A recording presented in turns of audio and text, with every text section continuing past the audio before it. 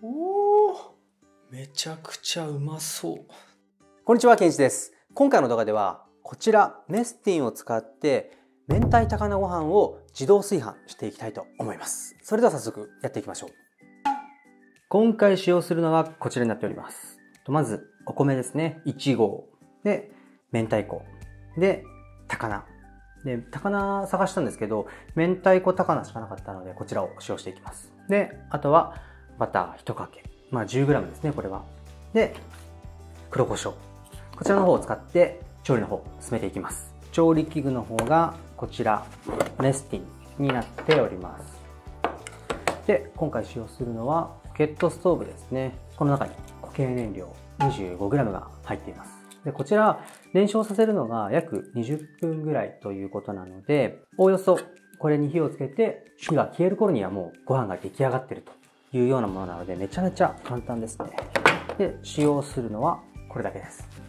でまず順番としてはこちらの方でお米の方研いでいきたいと思いますはいということでお米研いできましたで今回お米1合に対して水は 180cc 入っております通常だとこのまま30分置くんですけれども今回はその時と一緒にこの魚も入れて30分米に水を吸わせていきたいと思います。これを一緒に入れることによってこのお米一粒一粒にこの高菜の味と香りがついていきますのでこれ必ずお米に染み込ませる時にやってください。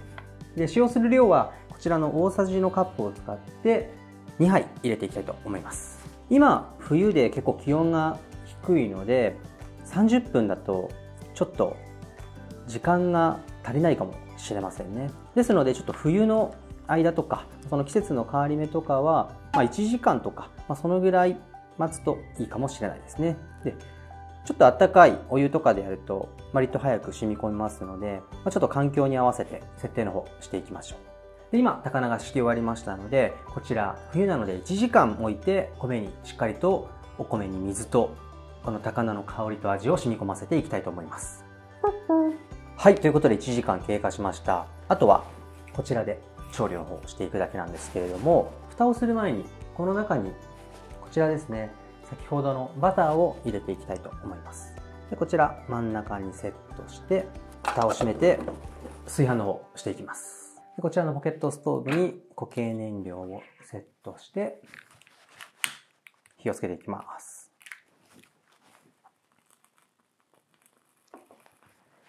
で、こうやって火がついたら下にトレーの方敷いていきます。結構吹きこぼれとかするので、こういったものを用意しておいた方がいいと思います。で、あとは、メスティンを乗っけて、火が消えるまで待つだけです。めちゃめちゃ簡単だね。吹き出した時に蓋が開かないように、重しの方を乗せておきます。はい、ということで今、燃料が燃焼し終わりましたので、下ろしていきます。ちょうどなくなってますね。タオルとか何でも布でもいいんですけれども一旦くるんで10分間蒸らしていきたいと思います。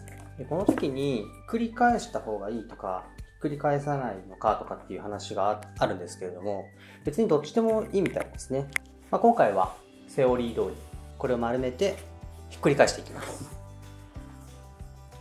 この状態で10分間蒸らしていきます。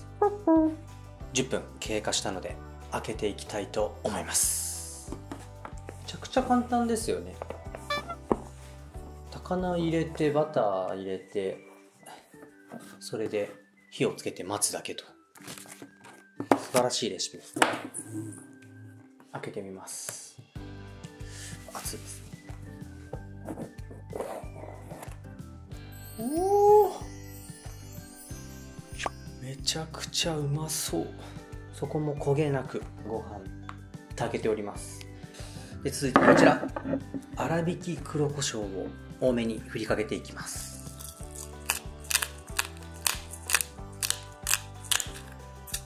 はい。で最後の仕上げにこちらカネフックの明太子をのせて完成。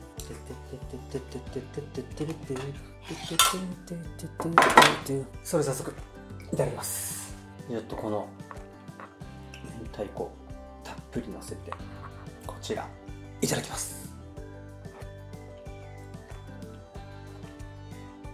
うん黒胡椒がすごい効いててね米にもこの高菜の風味がすごい染み込んでて最高に美味しいですね。でやっぱりこの金福の明太子のねピリリと辛いこの辛さが最高かよこの高菜も食感が残っててねものすごく美味しいですね。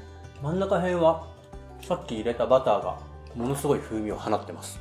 今回なんですけどもこちらメスティン自動レシピというレシピ本を参考に作らせていただきました。それでは今回の動画が少しでもいいなと思っていただきましたら高評価とチャンネル登録の方よろしくお願いいたします。それでは最後までご視聴いただきましてありがとうございました。